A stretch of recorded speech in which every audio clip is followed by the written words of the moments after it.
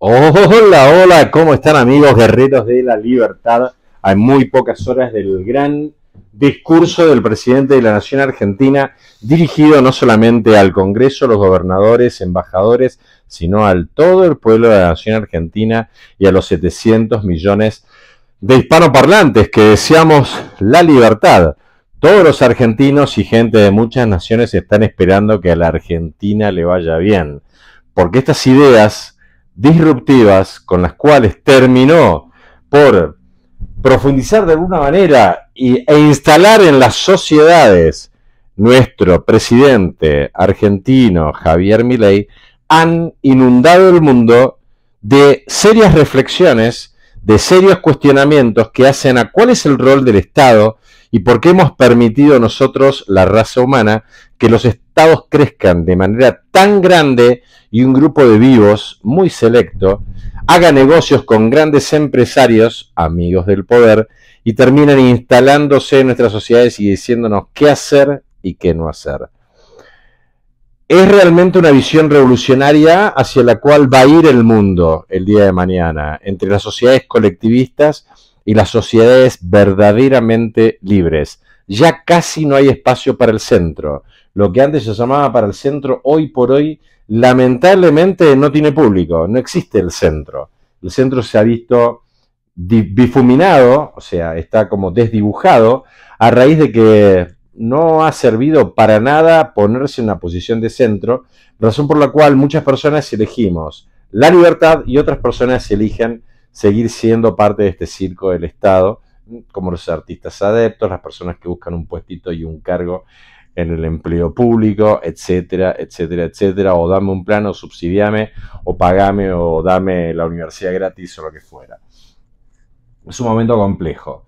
Estoy un poco preocupado, ha llegado una información que está corriendo ahí por las redes, a mí me vino a través de una red de contactos eh, importantes, de gente que yo conozco hace mucho tiempo y en quien creo y confío, eh, y se le llama a nivel clasificación de inteligencia A1. Yo no quiero alertar a nadie, ni digo que esto sea real o no.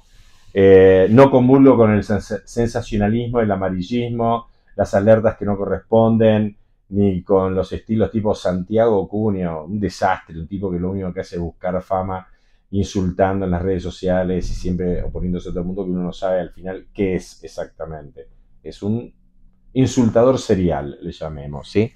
Pero aparentemente esta información dice que hay un grupo al cual se está siguiendo a nivel de inteligencia que tendría relación con algún robo de armas en la zona de mataderos y que estaría complicada la cuestión porque estas personas ya no se las detecta.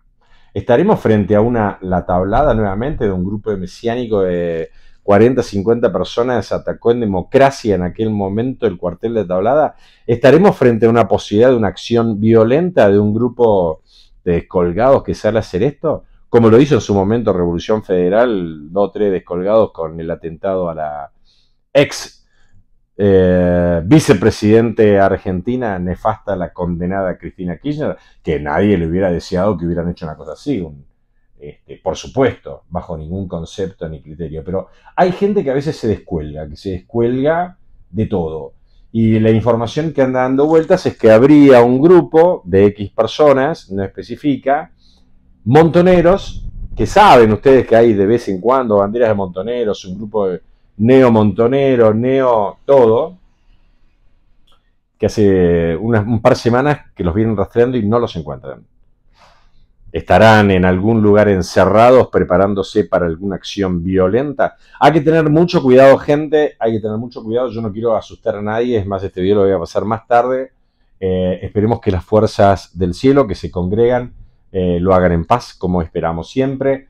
Eh, esperamos que las fuerzas de izquierda también lo hagan en paz y no inciten a la violencia ni confronten con los partidarios de Javier Milei, la libertad avanza, las fuerzas liberales, las fuerzas cívicas, los vecinos, la gente común, etcétera, etcétera, etcétera. Que por ahí no tiene nada que ver con la política y dice, bueno, yo me acerco porque tengo ganas de ir al Congreso y si rompe la izquierda violenta, estamos complicados sin problemas. Si se quieren llevar un muerto o instalar un muerto, estamos complicados sin problemas. No hagan eso, gente. No hagan eso. La Argentina merece una oportunidad de vivir en paz y esta es la oportunidad.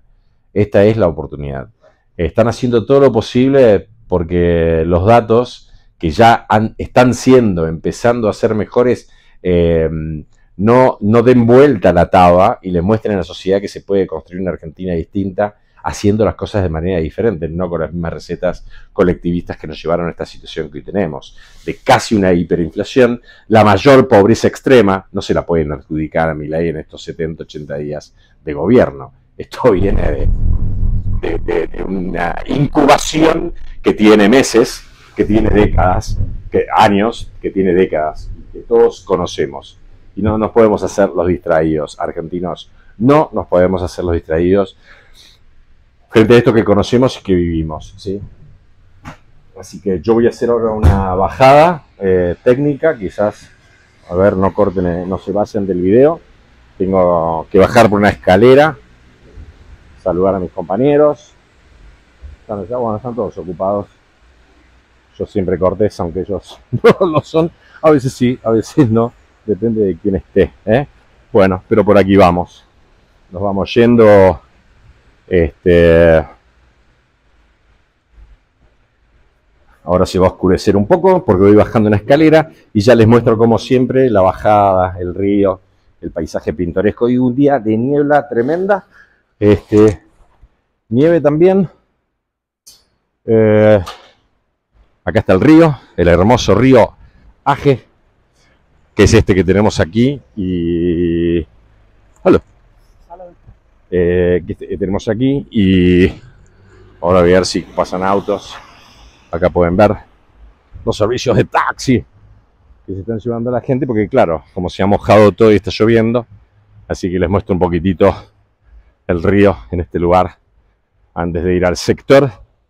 Este, ¿Dónde tengo que marcar? Me quedan unos minutos libres, como unos 10 más o menos, así que charlaré con mi único compañero argentino.